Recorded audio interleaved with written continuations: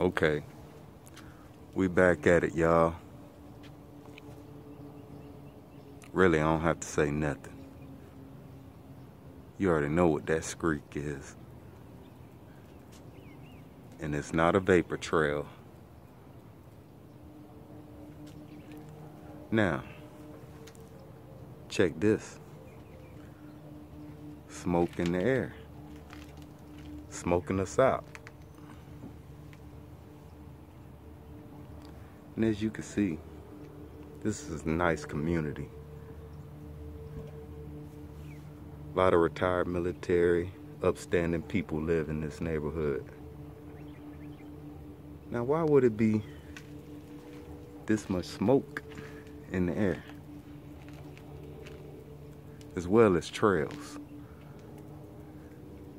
Y'all see that trail? See that? And if you were standing where I was standing, you would smell the smoke.